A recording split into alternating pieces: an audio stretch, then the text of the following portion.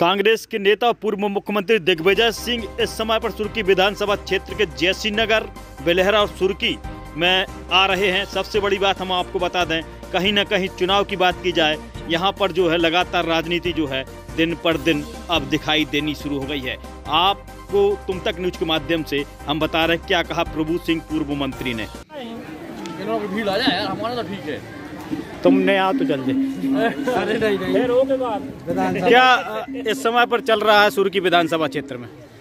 सुर्खी विधानसभा क्षेत्र में हमारे प्रदेश के पूर्व मुख्यमंत्री, हमारी कांग्रेस में देश के नेता, वर्तमान में राज्यसभा के सांसद, माननीय दिग्विजय सिंह जी सागर ज़िले के भ्रमण पे हैं।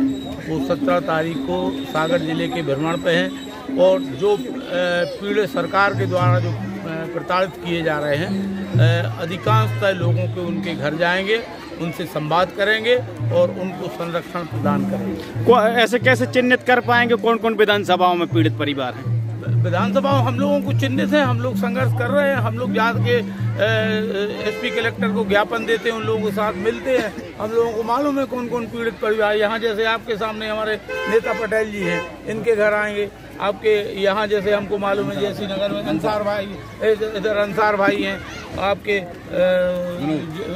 विनोद जी हैं राहुल गर्ग जी हैं, आपके विक्रम सिंह जी हैं, है ना, ये अनिल सोनी जी हैं हमारे रम्मू भैया के मकान तोड़े गए ढाबा तोड़ा गया। ये बहुत सारे लोग हैं सब जगह का मालूम है हम लोग तो सुर्खी में उनका है कार्यक्रम हाँ सत्रह तारीख को आएँगे यहाँ लगभग पाँच बजे के आसपास। बि- बिलहरा में। वो क्या नाम परासिया जाएँगे मुगरियाऊ जाएँगे। जहाँ जहाँ जैसी नगर आएँगे बिलहरा। आएँगे और जो अभी जो दुखद घटनाएँ हुई हैं रा, रामू कुशवाहा जी के यहाँ राजू कुशवाहा के यहाँ सेमरा गोपालन में आपके तुर्की घाना जाएँगे। तो हम लोग अभी वहीं घाना जा रहे हैं।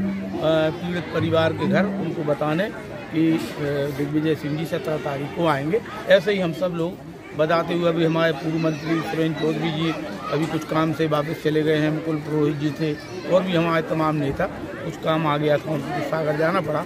हम सब लोग उनकी यात्रा के पूर्व की तैयारी कर रहे हैं। आपकी क्या तैयारी आपकी विधानसभा में?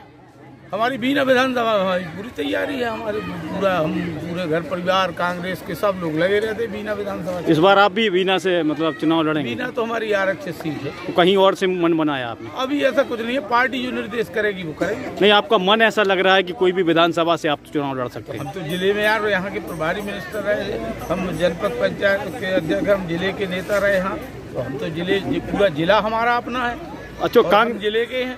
अब कांग्रेस का कोई भी कार्यकर्ता अगर पीड़ित होगा तो आप लड़ाई लड़ेंगे। बिल्कुल, हम लड़ाई लड़ेंगे। जो दिग्विजय सिंह जी ने कमेटी मध्य प्रदेश की बनाई है, दस ग्यारह लोग उस कमेटी में है, उसकी बैठक भी है, जो चाहे टीकमगढ़ में प्रभावित हो, चाहे दतिया में प्रभावित हो, जहाँ जिस ज़िले में भी प्रभावित होगा हमारा पीड़ित कांग्रेसी, उसमें माननीय दिग्विजय सिंह जी उस कमेटी के अध्यक्ष हैं। हमारे प्रदेश के अध्यक्ष माननीय कमलनाथ जी ने वो कमेटी बनाई है और हम दस ग्यारह लोग उसमें हम भी हैं। हम लोग उस कमेटी के सदस्य हैं तो हम पीड़ित पक्ष में पूरे प्रदेश भर के प्रदेश भर दिग्विजय सिंह जी जा रहे हैं। और उसी तारतम्य में वो सागर ज़िले में आए हैं तो पुरई जाएँगे, सुर्खी क्षेत्र में जाएँगे और राहतगढ़ जाएँगे, चूँकि एक ही दिन का कार्यक्रम है, और अगला फिर जब उनका टर्म होगा तो अन्य जगहों पर फिर जाएँगे। धन्यवाद।